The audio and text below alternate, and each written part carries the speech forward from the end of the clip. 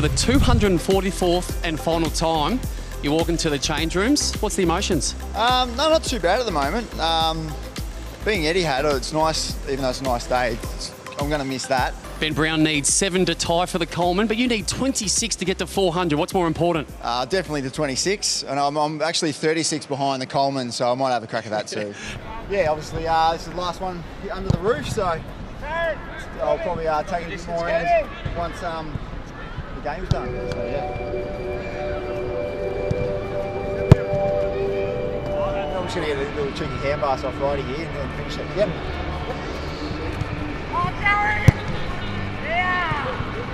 Yeah, Yeah, got Macy here, obviously my uh, number one child. Uh, family's here, so mum, all the sisters, cousins and aunties and stuff, so um, nieces, nephews and the kids. Wife as well, so um, yeah, should be good, should be a good day.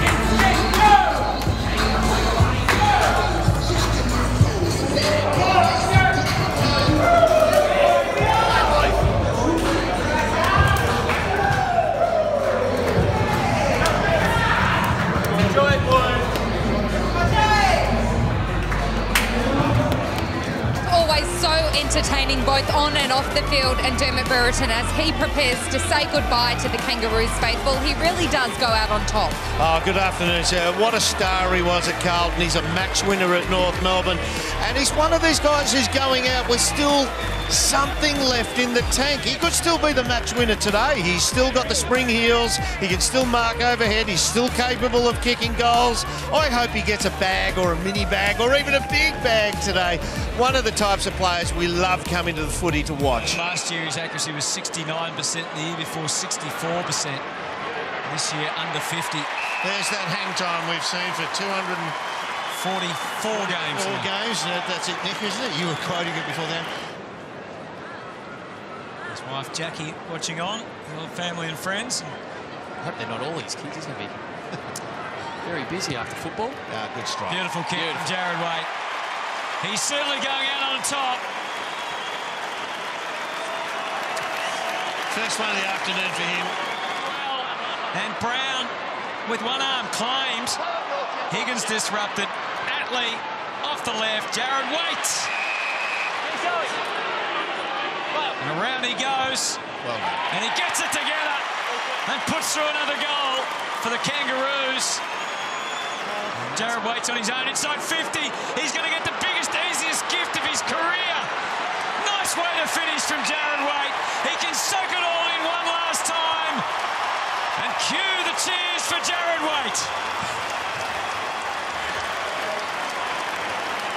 Let's go down to Sarah Jones and Jarrad Waite and his kids. Yeah, a beautiful moment here, Dim. Jarrad, congratulations on a wonderful career. What are the emotions right now? Oh, just a bit of relief now. It's been a big week and um, don't really like the attention anyway, so, but nah, really proud we got the, the job done this uh, today and um, yeah, I'd just like to take the time to thank everyone who's sent me messages and had a heap of support, people that um, haven't heard from in years and Carlton supporters and uh, especially North Melbourne supporters, so really appreciate all the messages myself and the family have gotten over the last week. You did get a chance to kick three goals and really soak up the moment of that last one. How special was that? Strolling in, you've got the North Melbourne crowd cheering behind. Yeah, that, that was pretty nice, and I, I don't usually like slowing up when you're going into goals, but um, I thought I'd take it all in. And you go out on top. You're really in fabulous form. How satisfying is that? Oh, it's just any player wants to go out sort of playing good footy, and granted, I would have liked to have. Um, played in the grand final and stuff like that, but this is the second best sort of thing it could have been. So I just wrapped, and um, yeah, I'm glad it's done now. I think I knew I knew it was the right decision, and, and now after the game, I, I, know that it's definitely the right decision. So uh, yeah, just just been exciting, just getting the boys getting around me and every, all the messages. And in all honesty, I've I'm mentally cooked, and it's just the right time, mate. And um, I couldn't have asked for a better uh, end to it. And, a good win by the boys. I'm just going to really embrace the time now with the family and, um, and yeah, looking forward to it.